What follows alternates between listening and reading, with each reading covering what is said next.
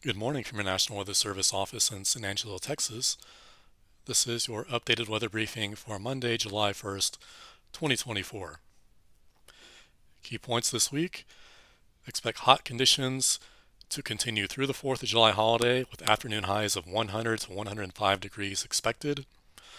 However, slightly cooler temperatures, along with a chance of isolated scattered showers and thunderstorms, are possible as we go into Friday and Saturday.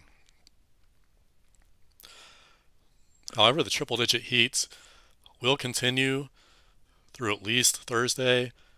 Afternoon highs of 100 to 105 degrees, with heat index values perhaps a degree or two even higher.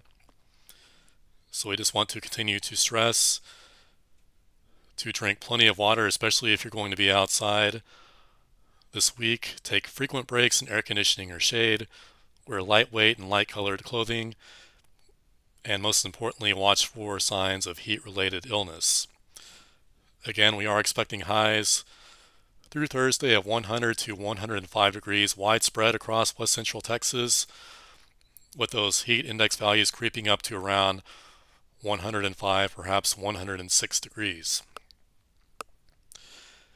And taking a look at our extended forecast, again, you can see that we do have slightly cooler temperatures on tap for Friday and Saturday, along with a chance of at least isolated to scattered showers and thunderstorms. We will certainly be keeping an eye on that, so be sure and check back on the forecast as we progress through the week.